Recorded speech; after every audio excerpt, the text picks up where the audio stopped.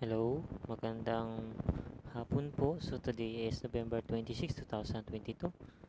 So 2 p.m. So we have a job today. So ito siya guys. So may pangalan lang siya. Ito po siya. This is from Barangay Mayamot, Antipolo City. So ayan, galing doon sa dati kong location. So Tagig na kasi tayo ngayon, eh, Tagig City. So dati kasi sa bar- taga Barangay Mayamot din ako. eh. So, ayan, kay Sir Garcia. Ayan, so, di pa po siya nabubuksan. Bubuksan ko pa lang siya. So, open ko lang siya, guys.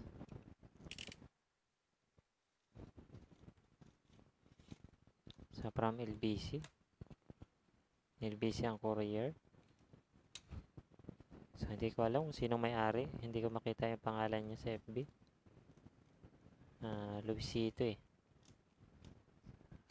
Ay, hindi ko siya makita. Hindi siya nagpa-follow up.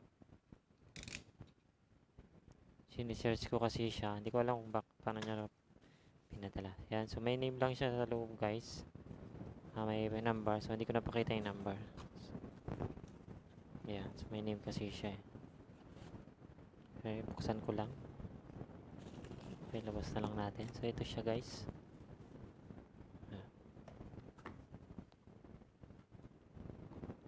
So, my name.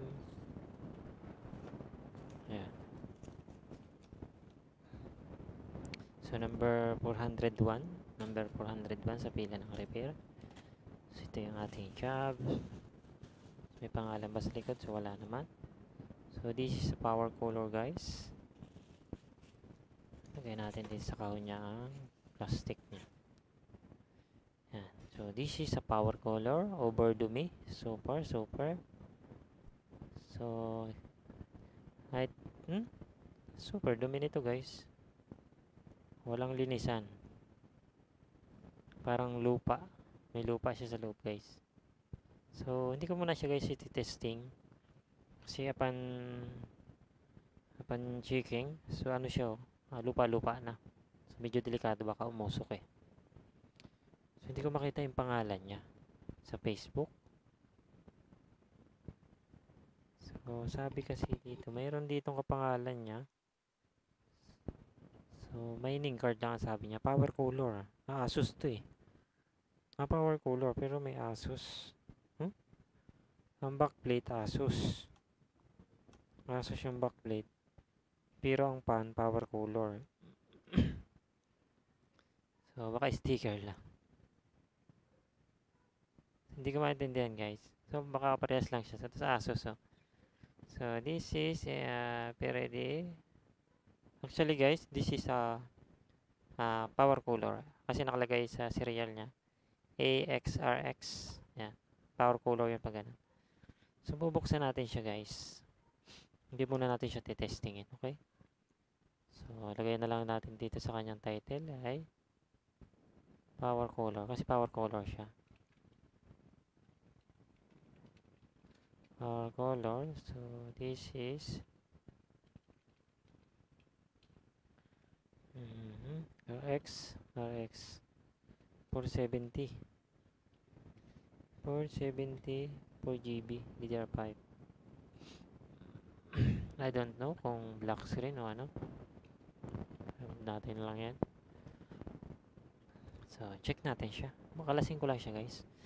Bago natin siya isalpak kasi sa tingin ko kasi madumi siya. Baka kasi umusok. Hindi ko pa malukit yung kanyang pangalan ng customer. Kasi may nakita ako dito, iba yung pangalan niya sa Facebook. Yan, pero Luis, Luisito din siya, pero iba pangalan niya eh. Iba yung pangalan niya dito.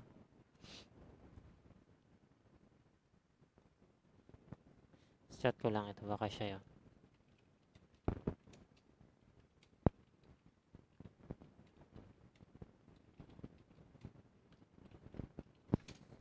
Hindi ko alam kung siya yun.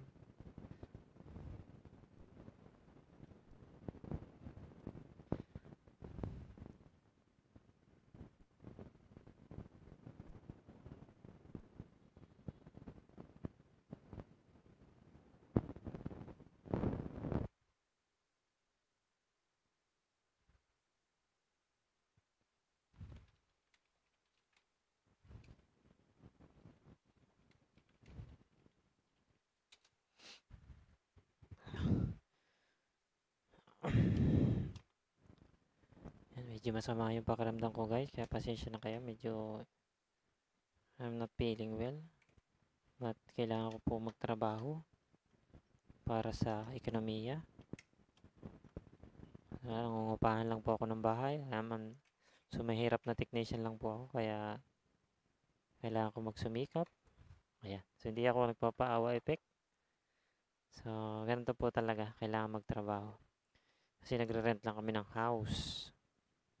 Ayan. Kailangan kong kumita. Kaya masama, medyo masama pakiramdam. Work pa. So yan. I think matigas. Sobrang tigas niya. Yan. So over. Na-stuck na ito guys. Ah, wala na. Nag-moist na siya. So look. Look the itsura. Hmm. Basa. Moist. Heatsink. So very ano. Ayan no. Kita niyo yung mga singit-singit. Puro lupa. Ano siguro ito? Baka ito yung tambak na. Tapos may nakita siya nagagawa pa. Ay, ginagawa pala ang video word. So baka sinend sa atin. Ganun kasi minsan eh, yung mga nakaka-chat ko na customer. Hindi nila talaga alam na may nagre-repair ng video card. Merong ano, na dating video card sila. Nakatago daw sa bahay nila, ganyan. Hindi niya nakita lang niya, may nare-repair pala to. So, tuntua siya kaya ngayon nakakita ng nagre-repair. Kasi ang mahal daw ng bili nila, ganyan. So, yun pala yung nare-repair.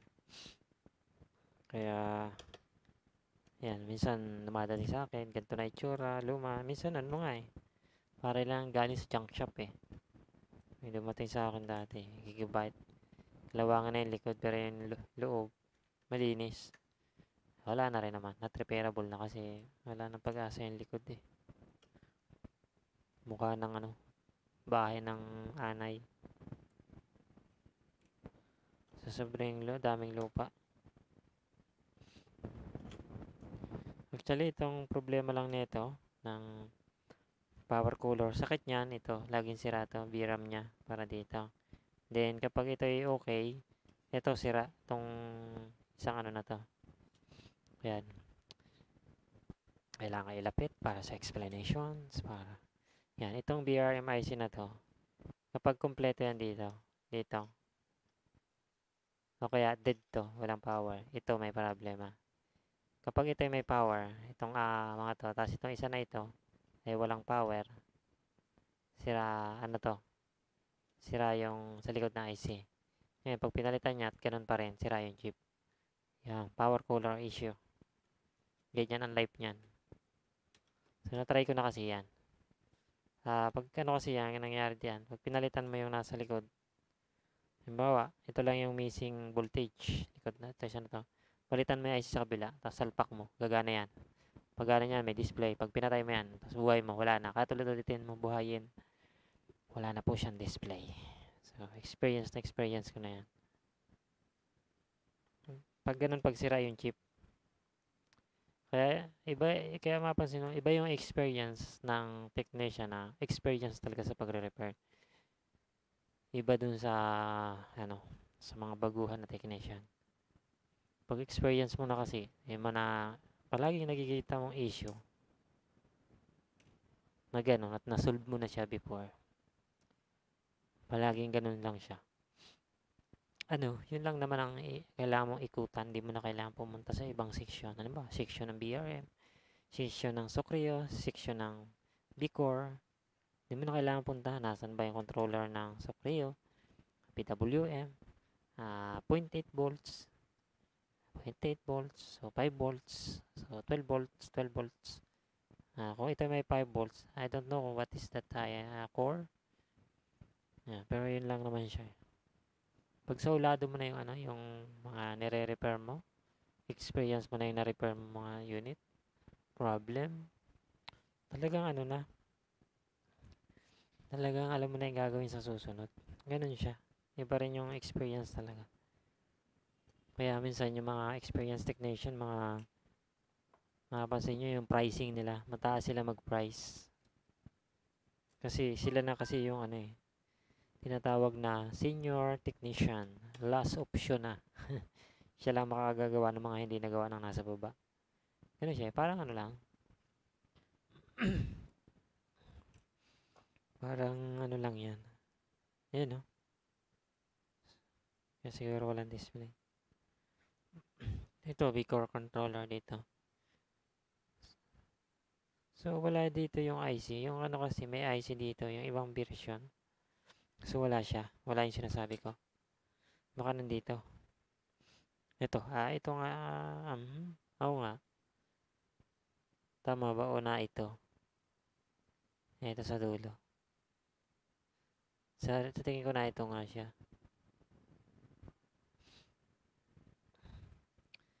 Kasi ito, itong dulo na to, lagi may IC dito. Dito. Yan. Kasi ito sa B-Core ito, dito to sa chip. Ito yung naglalabas ng 1.8 volts saka 0. volts. Ah, 0.8 volts na nag-ano dito, nag feedback galing dito sa core. Ayun siya, ganun yung function siya eh. Base lang sa na ano ko siya, nakikita ko palagi. Pero ito, yung dito. Yan, kasi ito, dito na to eh. Yan. Dumi niya, super, super dumi. Repair kaya natin to? Tingin nyo guys, mare-repair ba natin?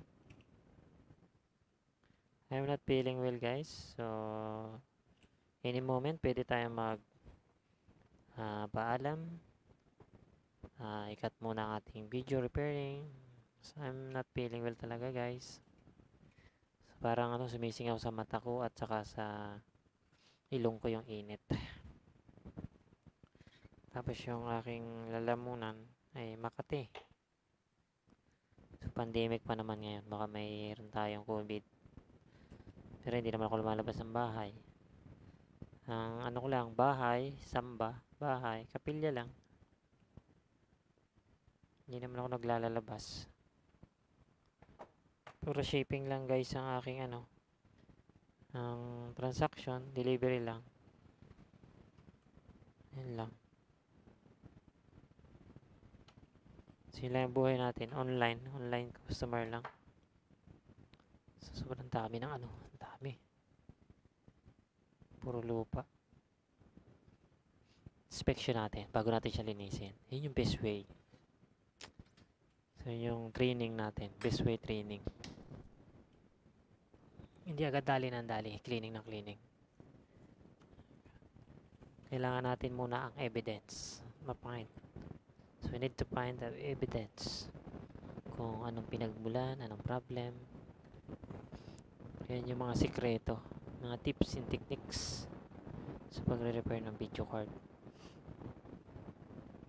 Yan. Oh, crack siya. Kita nyo ba guys? Basag. Oh, so may pangit tayo na tayo. This is a power rail, 12 volts power rail.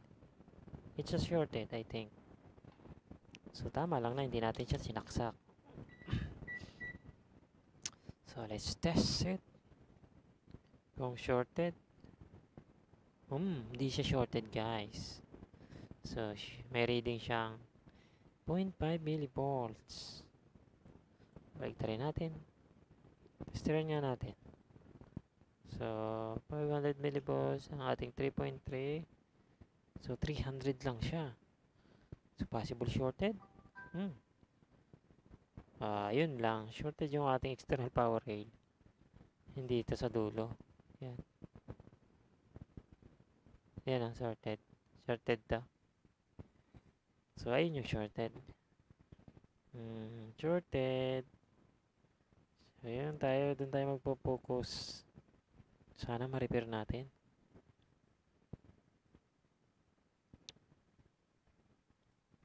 So, so ito siguro ang salarin. Mga gubat. Gubat na ito. Yan, no?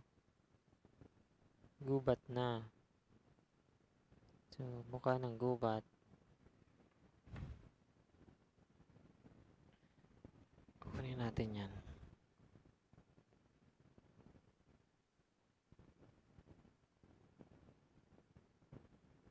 Grabe guys, oh. Anong klaseng buhay ito? Bakit ang daming lumot? Oh, Bakit meron niyan? Tataniman na to. Bahay ng langgam. Anong nangyari dito? Wala man lang kasi pagsipag maglinis. Gamit lang ng gamit. Hindi niya nakikita kasi akala niya ganun na lang. So, ang computer guys, ipa-maintenance nyo every 6 months or 1 year. Kapag hindi nyo ginawa, so, ayan ang, yan ang result niyan. Go kay sa technician para magpa-repair. Yan ang result niyan, masisira. Kaya yung aking video ka dito guys, yung aking nire-repair, so pakita ko sa inyo. Ay, nire-repair yung ginagamit ko. So, makikita-kita kaya. Ang baba yung aking camera. So, yung video ka dito ng computer ko guys. Kita ba? Yan. Yan guys. Naku, taon na yan guys. Hindi pa nasisira. Laging malinis yan guys. Yan ang technique lang dyan. Brushin yung ibabaw. Siyempre, walang kuryente. Walang power. Yan, laging malinis. Tapos yung heatsink, palitan ng thermal paste. Thermal pad. Yan. So, yan ang sikreto guys sa sa magandang pag-aalaga ng computer. So, yan ang gagawin nyo dyan. So, promise guys, pinahabaan nyo ang buhay ng inyong GPU pag laging malinis. Siyempre, in the right place naman. In the right time. Baka naman, kasi mayroong mga naglilinis kasi hindi man marunong. Laging sasabihin, sinasabi sa akin ay, Boss, nilinis ko lang, no display. So, nangyari? Missing parts. Missing parts, tapos liquid damage dahil hindi naman pala marunong. Cool ng technician pag hindi kaya. So, yun yung the best solution, the best way na inyong magagawa. Yun lang ang sikreto dyan. Kaya nga may eksperto eh. Kaya nga mayroong tagalaba, tagaluto, tigaluto, tigasaing. Mayroong kusinero, mayroong ano, o di ba? Kasi hindi lahat ay para sa iyo. Mayroong technician, mayroong technician para sa video card, may technician para sa laptop only, mayroong technician para sa computer, mayroong PC builder. Iba-iba yan guys. Hindi lahat ng sinabing computer technician ay lahat ay kaya. Mayroong technician na sinabing computer technician, hindi naman board level. So, ganun siya guys. Kapag pag hindi para sa'yo, ay hindi para sa'yo. Iupa sa magaling. Iupa sa eksperto. Yun yung service solutions. So, dahil shorted, sa tingin ba natin alin yung shorted? Alin ang tinatawag na connected sa external power supply? Ito ba? Itong lower ba na to? B-core? O itong Socreo? Hindi ko alam kung Socreo yan ba? B-core driver? O itong BRM section? O, alin dyan? So, sa inspection natin, so wala naman siyang ah, flux or sunog. So, wala siyang flux or sunog. So, ibig sabihin, either nag-shorted lang yan. Kasi hindi siya short. Itong ano dito, itong nagpumutok. Ito. Hindi siya shorted eh. Yan. Eh, salita ako ng salita sa wala palang video. Sorry guys, sorry. Ayan, pasensya na po. Nakalimutan na naman.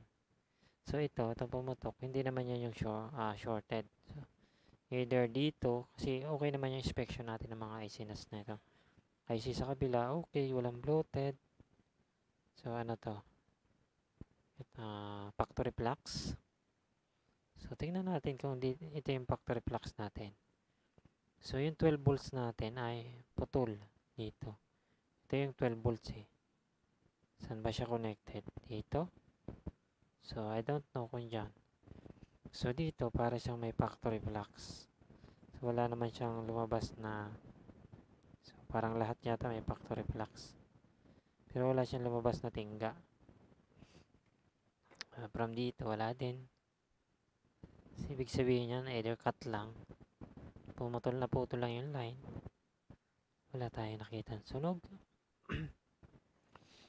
Sama ng pakiramdam ko. So, dito, putok, shorted, crack, capacitor, bloated, what else? So, let's check. Sana hindi sunod su- sira ang ating ano. Oh, check natin yung ano. Sana hindi po sira yung ating ano, ah, tinatawag na ah, memory. Pag shorted yung memory nito, sira na to. Not repairable na to. So, meron naman tayong 6, 61 millivolts. So, hindi siya shorted. Ah, yan, may 6 volt tayo. So, ah, may technique dyan. Dahil ito yung shorted natin, external. Pwede naman natin testerin itong mga capacitor dito. Kung dito yung nagko-cause ng shorted. Yeah, so shorted siya. Yeah, shorted. Shorted. So, wala medyo capacitor. Pwede yan dito eh. Ah, susundutin mo siya, yung 12 volt. 12 volts dito, 12 volts dito. Pwede mo siyang sundutin dito. Kaya, yan. Tapos dito, kung ito yung 12 volts na shorted. So, pag hindi siya na reading, ayan, 12 volts. Ibig sabihin itong supply, 12 volts. So, dito. So, I think hindi. So, check natin dito. Ito yan eh. Yeah, so shorted siya. Foreground. So, I don't know. So, yung ating memory, hindi naman siya shorted. So, dito. Okay, hindi connected siya doon. Dito. So, connected din. Uh, this is external. Yan, external. External. Okay, shorted. Yan, shorted din siya. Shorted din. Machine lahat ito. At saka ito dito. So, I don't know.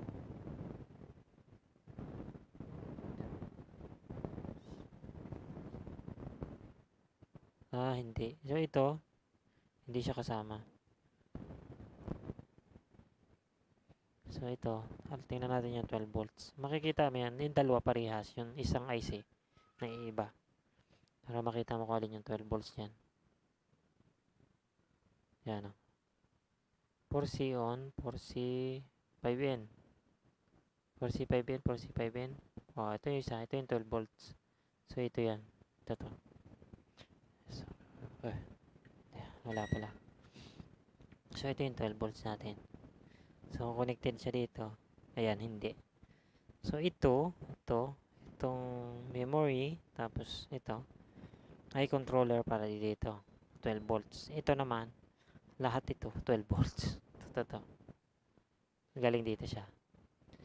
Kaya, dit yan. Walang display. Ah, kantok. Ay, makaramdam ko.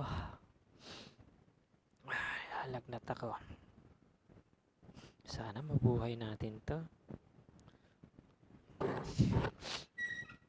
So, next natin guys. Pakiramdam eh. So, ang next natin yung gates. Check natin lahat ng gates. So, inalam lang naman natin kaya natin sinundot yung mga kung connected dito. Lahat kasi siya connected siya dito sa 12 volts dito.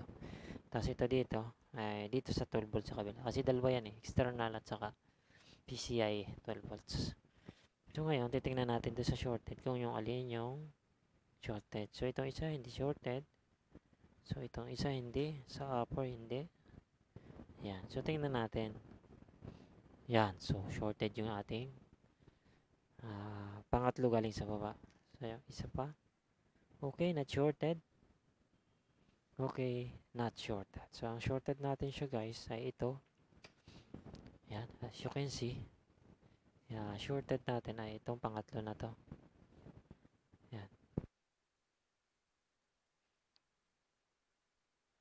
So, yung camera natin.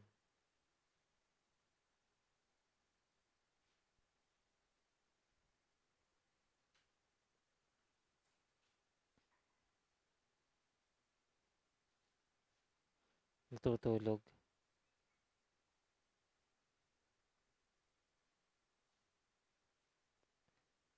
Ayan. Tayo pag ganun ng camera, focus sa baba, naka-focus. Ano bang camera? Tapos harapan pasin. So ito to.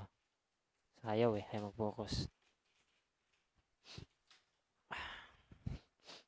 So yun yung shorted natin. So yun yung tatanggalin natin. Pangatlo.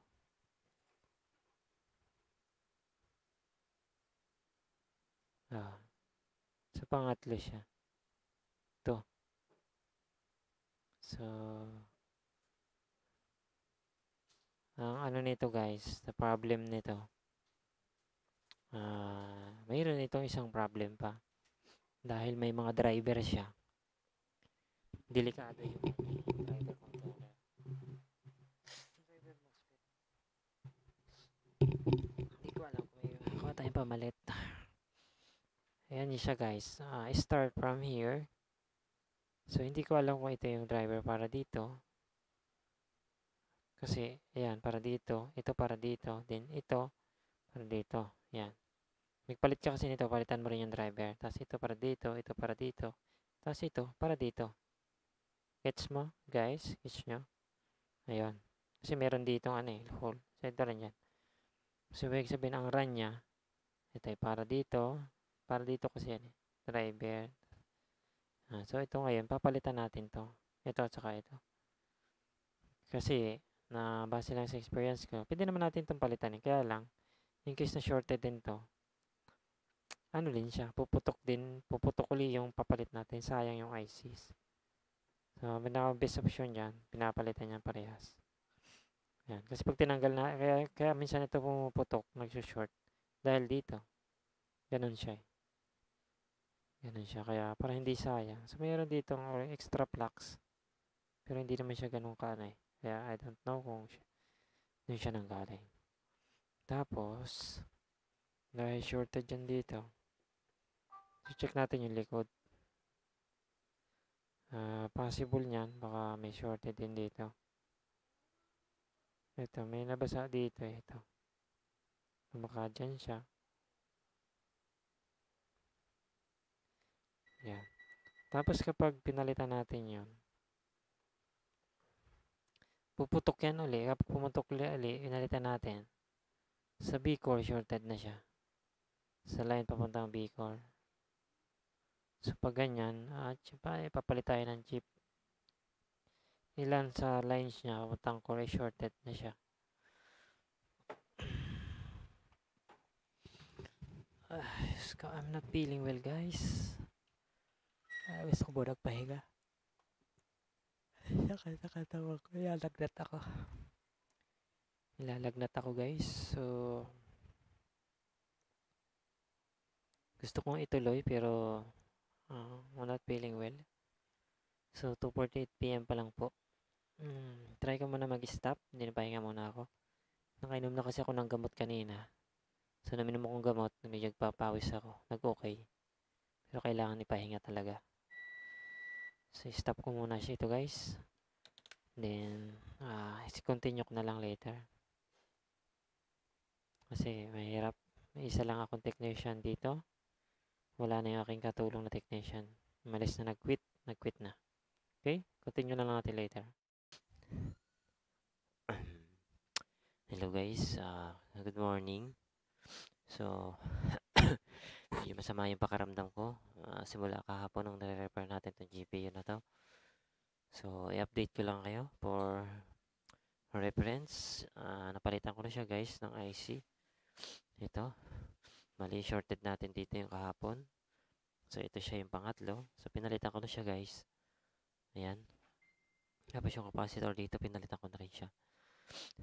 So, medyo hinahabo ko guys kasi so masama talaga ang pakiramdam ko. So, pinipilit ko lang mag-repair today para may may pumasok na income. Ayan, so yung re-repair natin, continuation lang natin. Uh, nakainom naman ako ng gamot kahapon. So, Biogesic. Tapos ngayon ay Bioflu. So, nakakain naman ako ng maayos. So, masama lang yung pakiramdam ko lalo pag tutulog. So, ayan. So, update ko lang kayo. Uh, ito siya guys, nakasalang na. Tetest na natin siya. Kung may display, wala. Ayan, so medyo nahirapan huminga. Pero wala naman tayong COVID. Okay. So, yan. So, test natin siya. Tingnan natin kung may display. So, let's power on. Ayan. So, ay, hindi nag-power on. So, pindutin natin. Ayaw mag-on. Power on. Ayan, nag-on na. So, yan. Chip is warming. So, warming na siya yun, guys. Tingnan natin kung may display sa monitor. Yan, uminit yung chip. It's hot. Okay, may display na siya, guys. So, nakalining ko na rin ito sa ating uh, lacquer blue cleaning. Excuse me. So, okay, naubo, guys. Uh, medyo masama talaga yung pakaramdam. Pero we need to try to work. Medyo kaya-kaya naman. Kaya, yun lang, medyo hinahapo. So, dito na lang ako sa donor kumuha ng ano, pyesa. So, 4C, 10N, yung ating pyesa. Dito ko siya kinuha. Shorted siya eh. Tapos yung capacitor dito. So, kumuha na lang ako sa gigabyte. Pwede naman yun, guys. Gigabyte, 12, 12 volts power rail din siya. Yung capacitor, kinuha ko siya. Ito yung mga donor natin. So, marami tayong donor dun sa likod. Kaya, walang problema sa mga donor board. So, to help the customer. Okay, power off natin. So, parang hindi ko yata na-off pa. So, try nga natin ulit. Okay, may display naman kanina. Ayan, may display naman pala. Parang hindi ko yata na-off. Ayan, so power off natin. Parang nag-on yata ulit. So, ayan, na-off ko na. So, ito guys, i-assemblingin ko na lang. Ayan, so, may pinalitan tayo isang capacitor. So, nalinis ko na ito sa lacquer blue. Ayan, mapasin nyo. It's clean. Ayan. Malinis na malinis na yan. Pwede na kayong manalamin. Ayan. So, ni na hot air ko natin siya para matuyo yung pag-cleaning.